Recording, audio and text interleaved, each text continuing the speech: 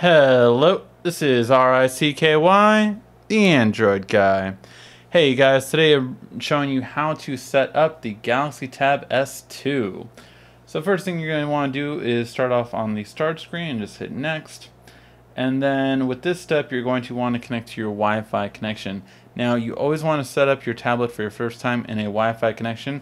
That way you can actually easily set it up uh, from your last tablet. So we're going to type, hit that and then connect to our Wi-Fi connection right here.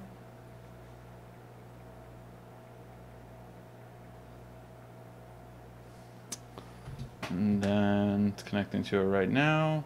Oops, I did not type that incorrectly.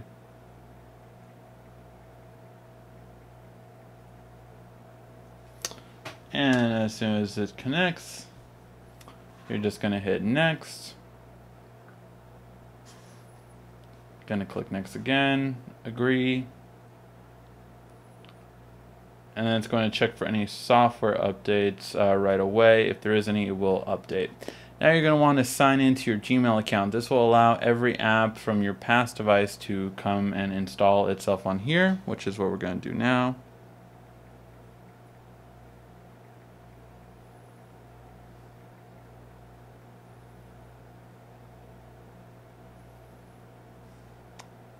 And then you're going to put in your password.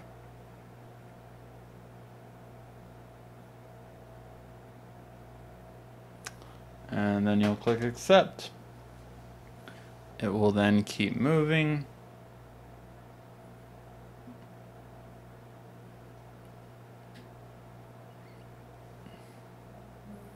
and then it has exact time because I do have it connected to Wi-Fi or else you'd have to put like what where you are and everything in it. Now you can do this, which is install from an existing tablet. So I do have the original Galaxy Tab S, and if I wanted to, I can keep every single app I have installed in there and install it on here. And I think we'll do that, except we'll take off a couple. So I'm going to customize it, uh, click next after this, and then we'll start up again, because this will take a little bit of time. And once it's done restoring, then you sign into your Samsung account. Now, why do you want a Samsung account? Well, there's a couple of reasons, but the main two are right here. First of all, you can locate your device if it's ever lost or stolen and deactivate it, meaning erase everything that's on it. And as well, you can back up and restore uh, certain things, such as if this was a phone, you could back up your text messages, but you also can back up your email account, which is really good for me because since I have a job, I don't have to go through my IT department and everything. It just goes right through here. So that's what we're going to do now. So we're going to sign in.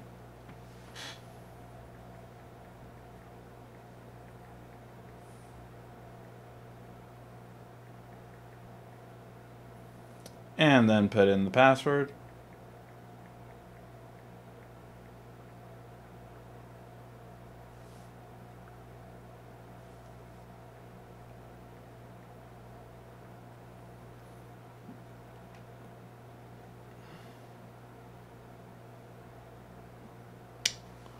And then as you can see, you can back up and sync, which is what I'll do now.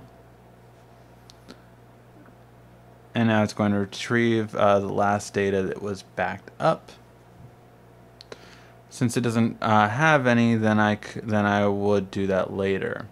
I'll also show you how to add a fingerprint later. This is similar, it's just a touch uh, one, so it's really nice and simple to add that later.